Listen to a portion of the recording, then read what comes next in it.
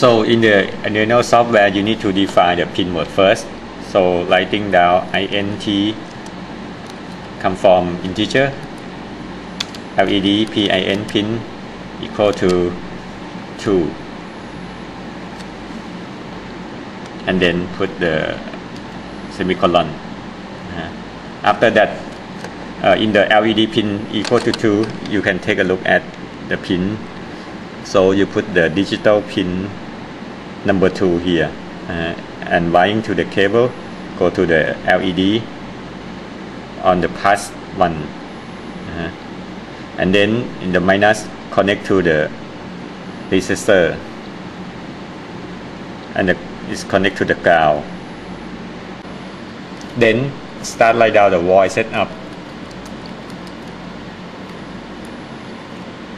parenthesis and open the bracket and write down pin mode. This one is will is going to be assigning the pin mode to the output.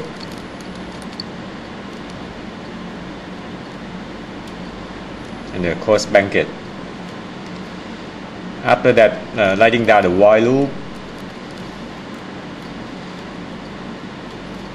And then start to lighting digital write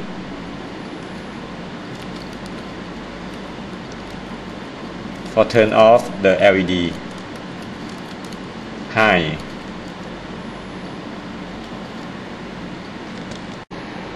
then write down the delay. 1000 or pause for one second.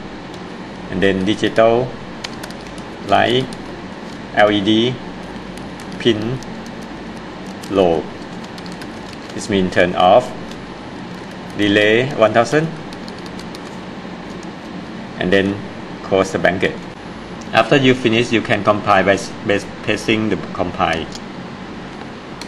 If the program is working this will say done compiling at the bottom. Then press the list start button. And the Y button. And release the list restart button the, the blue one will turn on then you need to upload to the file upload to the microcontroller by pressing the upload IO board. If you finish the upload they will have the binary sketch like this and it's nothing to have problem. After that coming back to the rod and then you press the restart button. Microcontroller is working